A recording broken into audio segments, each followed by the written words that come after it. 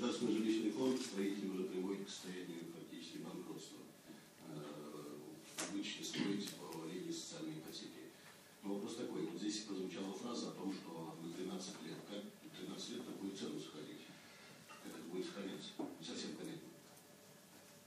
Действительно, вопрос очень сложный, и Государственный жилищный фонд этот вопрос э, поднял на том совместном совещании, которое мы проводили с фондом РЖС, но, к сожалению, нормы законодательства сегодня предусматривает часть 161 закона, статьи 16.6, фиксирование цены на срок реализации. То есть здесь застройщику необходимо ускорять освоение земельного участка. Единственный выход – это ускорение освоения. То есть не 13 лет, а 5-6 лет максимум ну, даже 5-6 лет сохранить такую цену, то сегодня я реальную себестоимость, мы ее раскладывали. Значит, э, я знаю реальную стоимость материалов, услуг, э, как ее сохранить, не совсем понятно. Было бы, конечно, прекрасно, если сохранится, даже на протяжении 5-6 лет. Это, ну, по, по сути дела, практически цена социальной ипотеки. Значит, уважаемые коллеги, вот это норма федерального закона.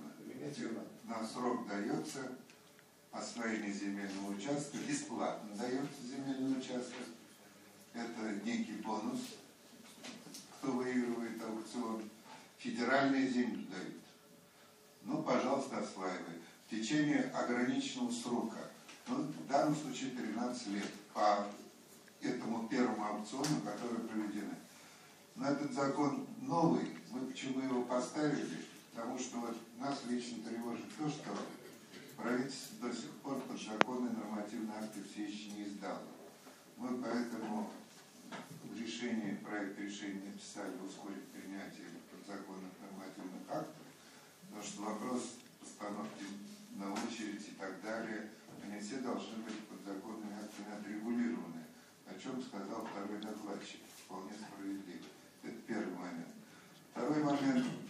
В Казани мы слышим от всех уровней власти города Казани, что нет земли, нет земли строить дальше. Но если посмотреть на карту сверху со спутника, то в Казани полно лысых мест в черте города одновременно. Я понимаю, они все имеют хозяев.